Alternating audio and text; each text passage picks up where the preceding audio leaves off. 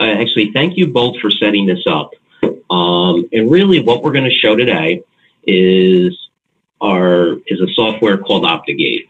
And what Optigate is is it's an employee self-service portal. And this is available currently for any district that is on Envision. And I believe every district that's on the call today is on Envision.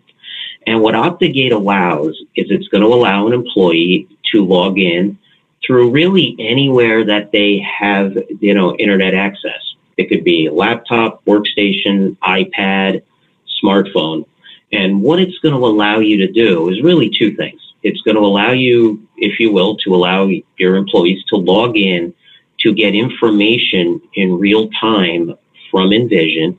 And it's also going to allow you, and this is something your, your school district will be able to determine based upon employee group, is to allow is to determine what do you want to allow your employees to do in regards to changing data within Optigate. And I'll walk you through all this. And then if you allow a data change in Optigate, for instance, an address change, would you want that address change to flow directly into Envision? Or would you want that address change to have to be approved before it flows through into Envision? So I'm hoping everyone can see my screen. And what you're looking at right now is I'm logged in as an employee. Her name is Jill Administrator. And what's currently going on is I'm connected to an Envision demo database. So in real time, it's pulling the information from that demo database into Optigate. Um, for any districts that are on the call that have uploaded employee photos into Envision, those photos will flow through from Envision into Optigate. And that's what I'm looking at here. Um, a couple of things I want to point out before I dive in and kind of walk you through the various, you know, pieces of data that you can share with your employees in Optigate. Um, one of the things is you can really customize the look and feel of, of Optigate to match, if you will, your district's website. And what I mean by that is this. What appears in the top left-hand corner, you can, you know, customize that to be your school school district name, and you can customize the, you know, color too to match your district's colors. The banner that is appearing here, you can have that be your district banner. You can have multiple banners uploaded. And what will occur if you have that is it'll spend a few seconds on one banner and then scroll through to any other banners that you have set up. I'm going to scroll my way to the bottom part of the screen and and under sponsors, you can determine what appears here. In our you know demo database, one of my support people uploaded their dog, but obviously you wouldn't have that. You would have whatever it is that you want to have have appear there. And you can also have this drill into a URL address if you wanted to.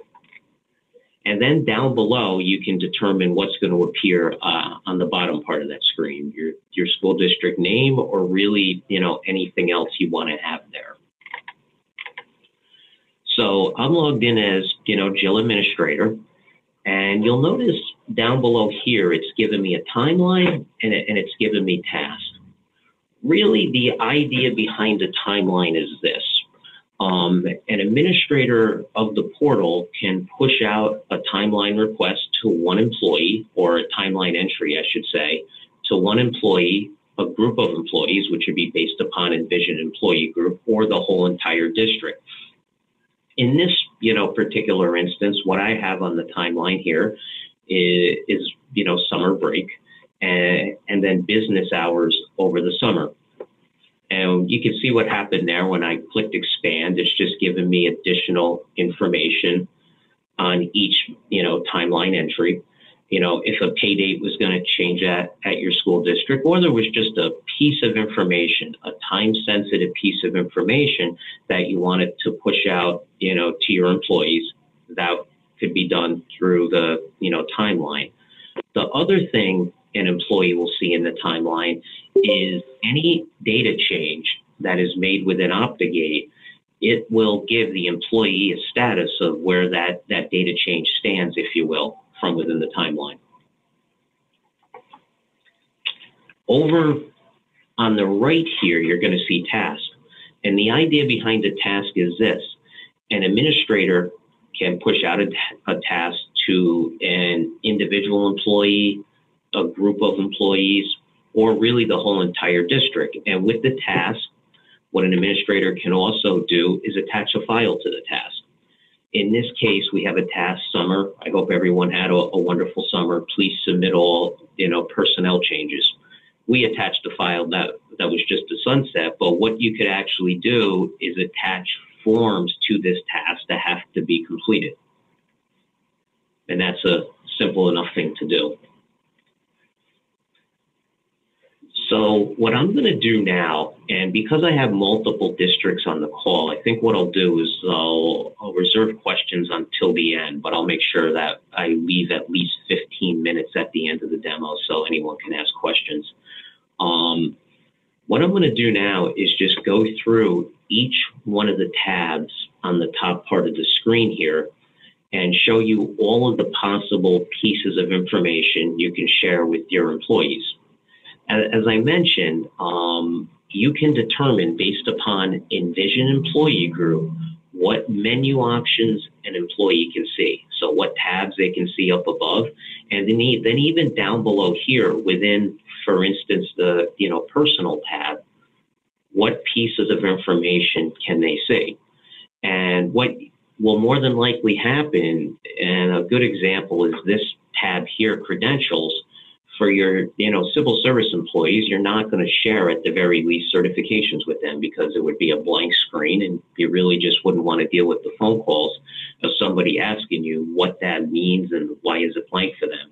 So you're going to be able to customize based upon employee group what your employees can see. So personal, and I'm just going to work my way from left to right here. I mentioned earlier how the portal can be accessed through a tablet. It can be accessed through through a smartphone. I really like to you know, actually emphasize that because what I envision happening is a lot of employees not accessing this through a computer like I am today, though they obviously can, but accessing it through a smartphone. And what's really nice is like any website today, where if you've accessed it on your smartphone, it gives you a mobile friendly version. Um, Optigate's going to do the same exact thing. It's going to be a mobile friendly version where your employees will be able to easily navigate among the menu options and be able to easily update data for those instances where you allow them to do so. So uh, I'm on the personal tab and I'm going to work my way from left to right. The first piece of information we're sharing, you can see is basic demographic information with your employees. The second option is going to be, you know, addresses. And this will be any address set up on the employee information screen in Envision. And the capability exists here, and you can push this out district wide or just restrict it by employee group to allow your employees to edit the current address set up in Envision and if you allow that edit, you'll be able to determine whether you want that change to flow direct into Envision or to require approval before it flows through into Envision. The next tab is going to be emergency contact information. Same as with addresses, if you're going to show this to your employees, you can allow them to edit emergency contacts or add a, a emergency contacts through Optigate. The next tab is going to be uh, employee, you know, dependents. And once again, you can allow your employees to add dependents through the portal or to edit existing dependent information through the portal. And then the last tab under, you know, personal, or the last option under personal is contact information. And this is going to be any phone number set up for this employee within Envision and any email addresses set up for this employee within Envision. and and your district can make a determination whether or not you want to allow them to to edit the phone number, edit the email that is currently in Envision, or to add a new phone number or to add a new email. Okay, so that's all the possible data you can share with your employees on the personal tab. The next tab I'm going to go to is, you know, payroll. And within payroll, the the first you know option, the, the first tab available on the bottom is contract and earnings. And on contract and earnings, what this is going to show is any earning that was set up in Envision on the appointment screen. It's going to push that earning out so your employees can, you know, view it. The second option is going to be employee tax withholding information, and this will show the employee their current federal and state filing status within Envision. The next tab is going to be employee tax forms. And what this is going to do is for any W 2 that has been printed and posted out of Envision, your employees are going to be able to download and view that W-2. And I'll just click on one of these just so you can see what that, you know, looks like.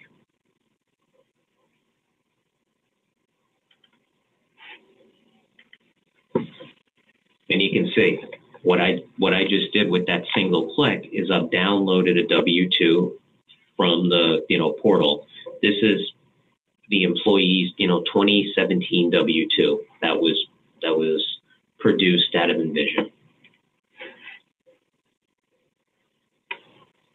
The next tab that's available is employee direct deposit information, and this is just going to share anything that is set up for this employee on the direct deposit screen within payroll.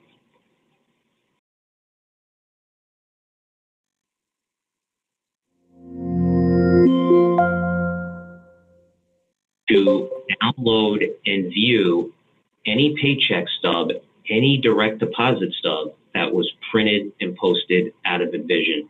And I just click download on this, this particular one here. And you can see there it is. Now, for every district on the call, I hope you're aware of this. Within the Envision product itself, the capability exists within payroll to email, you know, direct deposit stubs in place of printing out the paper documents. This kind of takes it a step further where your employees, instead of getting an email, though you can still send the email out, they could log it into the portal to download and if they wanted to print out that stub and that was under pay history. The next option is going to be employee deduction dollar amounts, and this will be for informational purposes. This is going to be any active payroll deduction set up for the employee. So that was all of the possible pieces of information you could share with your employees from from the payroll tab, the payroll button up above here. The next button I'm going to go to is employee benefit information. And what this is going to show your employees is any current active benefit set up for them on the benefit tab on employee information within Envision Human Resources. And then the bottom part is going to show them their current retirement membership information that is set up in the Envision Retirement Membership Information Screen within Human Resources. the next option is going to be employee credentials. And under employee credentials, you're going to be able to share with your employees current certification information set up for them. Obviously, this particular screen certifications you're only going to share with your instructional employees. A non-instructional employee wouldn't have that filled in. The thing too to keep in mind, and I, and I know I mentioned this a little bit earlier, is you know you can restrict based upon employee group what pieces of information the employee can see. If you had a scenario with one of these screens where maybe you didn't have the information filled in in Envision for that particular employee group, you could leave that particular screen turned off for them until you got the you know information updated. So the very first option is you know certifications. The second option you can share with your employees is education. And on the education tab here, what this is going to do is it's going to pull in from the courses screen in Envision Human Resources any courses you have filled in for that particular employee. And that screen in Envision is really a multi-use screen. And what I mean by that is school districts can use that to fill in in-service classes, graduate classes, undergraduate classes, and anything filled in on that screen for the, for the employee will appear here. The final option available on this particular tab, credentials, is going to be employee degrees. And that's going to be any degree that the employee holds that is filled in in Envision.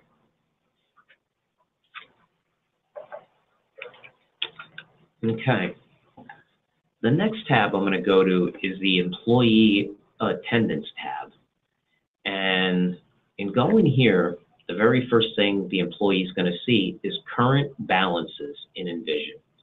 And, you know, let me emphasize this because I really haven't up until now.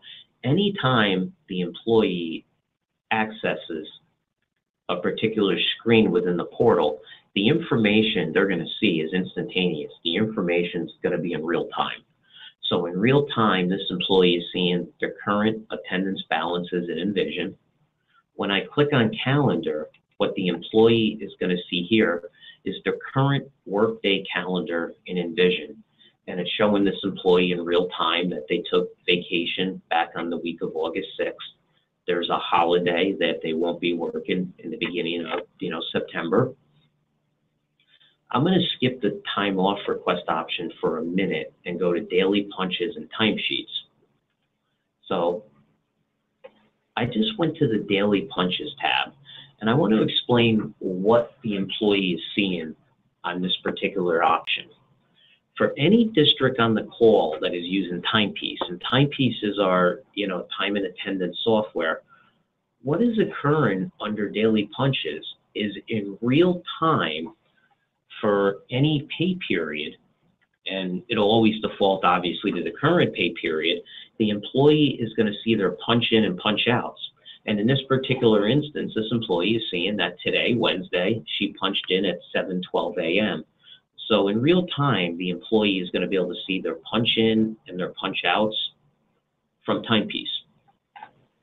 The timesheet option, what this is going to do is it's going to show any employee that punches in and out via Timepiece their timesheet for that particular day. And as you can see, for each day for this pay period, it's giving the employee their punch in, their punch out, their working hours and their paid hours. And this is coming straight from Timepiece. So I, I covered current balances, calendar, daily punches, and timesheets. I'm now going to go to time off request and kind of go through what this screen does. Um, what this screen is going to allow for is an employee can enter a time off request. Once the employee enters the time off request, your district can determine how does that time off request have to be approved before it becomes either a daily attendance record in Envision or an attendance event within Timepiece. And let me explain what I mean by Envision versus Timepiece. Um, for any district that is, you know, utilizing timepiece based upon work group and work subgroup, your district is going to be able to determine if an employee enters a time off request, do you want that time off request to flow into timepiece first, or do you want that time off request to flow directly into Envision? The first district that went up on Optigate this was probably their favorite feature within the portal because this you know, district had approximately 1,400 people punching in and punching out. They basically had their whole entire district punching in and out via timepiece. And they literally had two part-time people at the district. It was their only job to input uh, attendance events in the timepiece. The portal is going to take the place of that data entry. The employee who is going to request a day off will request it from within Optigate. It'll be approved within Optigate and it'll flow through as an event within Timepiece. So a district will have the capability to determine does the uh, time off request flow through into Timepiece first or, or does it go direct into Envision? If your district's just on Envision, then obviously every time off requests will ultimately flow through into Envision. So I'm going to pick a day. Oops. I'm going to pick a day to request time, time off. Down below, you'll notice a request type.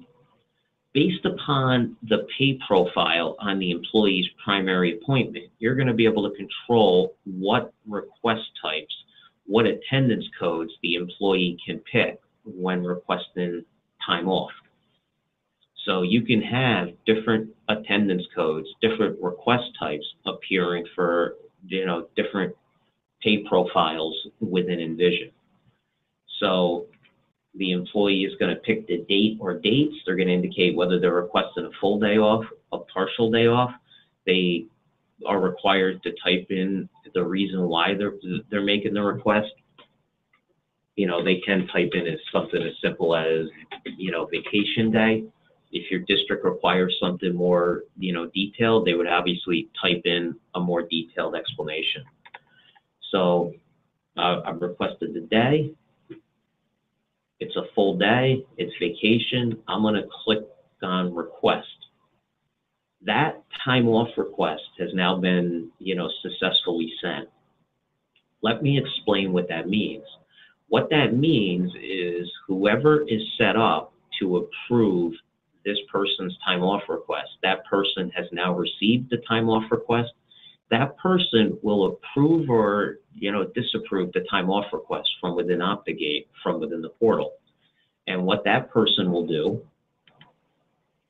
is they'll go to an approvals button within Optigate. The time off request will be available to them, and they can either approve or reject the time off request we have an enhanced version of the portal.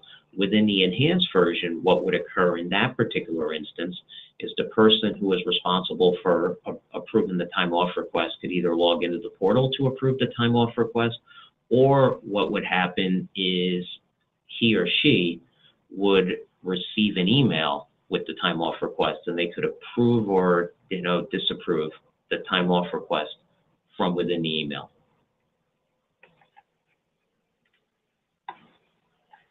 Okay. So what that was is what I've just done, and it's probably the first time I've ever done one of these presentations without fielding questions throughout the presentation. Just with the you know number of you know school districts on the call, I thought it was better I go through it first. Um, I've just given you a quick look and feel for all the various options available in Optigate. I think what I'm going to do now is really turn it over to any questions anyone has.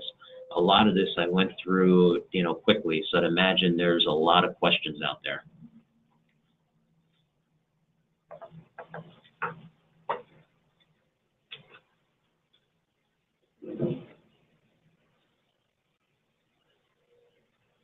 Okay, anyone with any questions?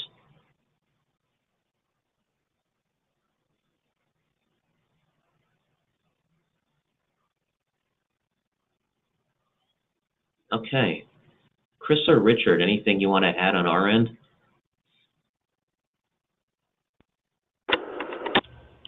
Uh, I mean, I guess one thing we can add is the uh, the bulk load procedure. Yes, uh, I'll let you talk about that, Richard. Sure. So uh, when you guys are going to be deploying this product, um, one of the big pieces about it would be how we uh, do the initial setup. Um, we are putting in place a process that will allow us to go behind the scenes in Envision and also, you know, linking to the Active Directory to extract employee information and create a file that we will then upload into the portal for the districts. Uh, this way, they won't have to manually enter, you know, hundreds of employees.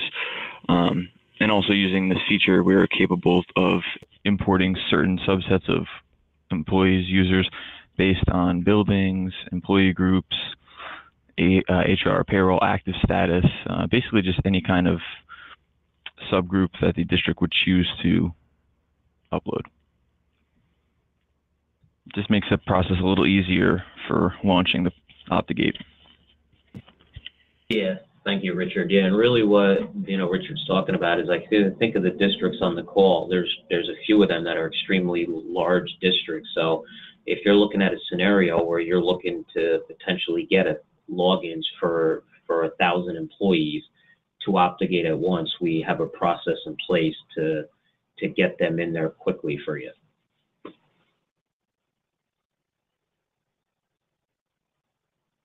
Yeah, once the districts are at the point in which we are able to do that in the timeline, I will contact and work with the district and whomever else directly in order to get that taken care of. This way we're not kind of leaving them high and dry. Right, exactly.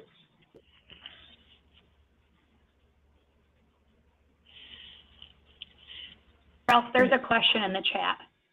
Oh, okay, I'm sorry, I wasn't paying attention to the chat. Um, all right. Let's see what we got here. Well, the Optigate for employees to enter information to digital forms. Yes, um, thank you for, for the question. Will Optigate have the capability for employees to enter information to digital forms, you, you know, W-4 direct deposit changes to be approved and processed? Yes, um, with Optigate, and if any district is interested in Optigate, you want to learn about Optigate, know, pricing, Tamara, Tim, Susie at Edutech can get that information out to you. Um, when we price out Optigate, we actually price it out for a base version of Optigate and an enhanced version of Optigate. The enhanced version of Optigate, what that's going to offer, you know, to a district, I mentioned the one piece, which is the capability for an approver to approve a time off request or any other data change made from Optigate via an email. The other thing the enhanced version of Optigate is going to offer is the you know question asked, and that's the capability for and we're we just completed the W4 form capability, and what that is is the capability for an employee to request a tax withholding change fill out a W-4 form, fill out the form within Optigate, electronically sign it within Optigate, submit the tax withholding change along with the W-4 change. And the end result would be having that, you know, W-4 that was electronically filled out in Optigate, electronically signed, having that flow through to the file attachment screen within Human Resources under the, you know, payroll dropdown and having that flow through into Envision along with the tax withholding screen. As I said, the, you know, W-4 form, we just got, got that completed. With that in place, we're going to look at, you know, other forms where it makes sense to incorporate that capability into an into Optigate. And that will be available in the enhanced version.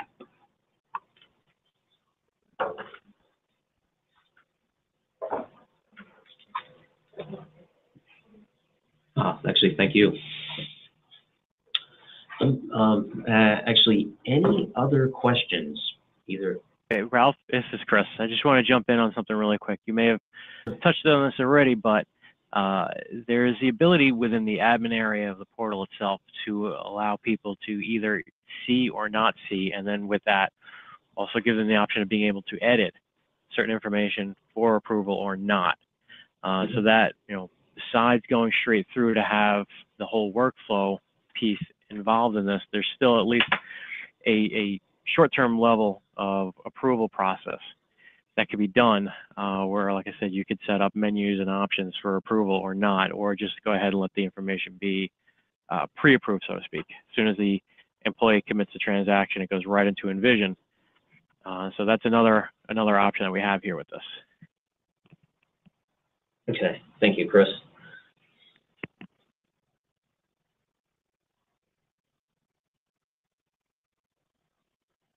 Okay, anyone with any questions at all? Okay, um, well, if anyone thinks of anything, by all means, feel free to communicate it to, to either Tamara, Susie, Tim, or really anyone at the RIC. If it's something they're not sure about, they'll reach out to us. If anyone is interested in, you know, pricing on Optigate, by all means, uh, or, you know, reach out to Edutech. They have that information available. They can supply you with the quote. And this is available today. Um, this isn't something we're showing where you have to wait six months, you have to wait a year. This is available today. So this is something where if your district ha has been waiting a long time for this, and I know a lot of districts have been, it's, it's probably been the number one you know, question I've been asked in, you know, user group meetings over really the last few years. When are we going to have something like this? Um, it's available today. It's just what we're doing right now is we're doing what I like to call a soft rollout. And what a soft rollout is, is we asked every regional information center to select a few, a few districts they would like to offer Optigate out you know, out to first, mainly because with the volume of districts we have, we couldn't bring every district up on Optigate today if every district wanted it. And we have approximately 360 districts today on nVision out of the 470 districts.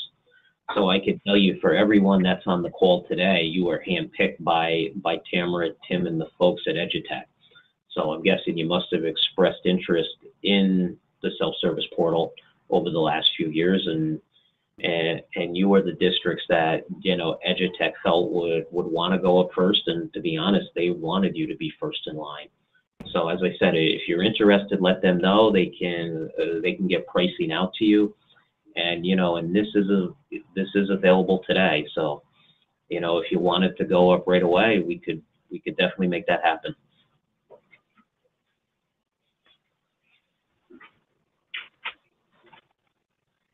Okay, well, I'll tell you what, I thank everyone for their time, and as I said, any questions at all, if you think of anything, let, let the Edutech folks know, and they'll either answer your question, or if they're not sure, they'll, uh, they'll ask us.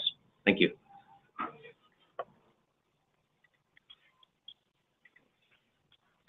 I.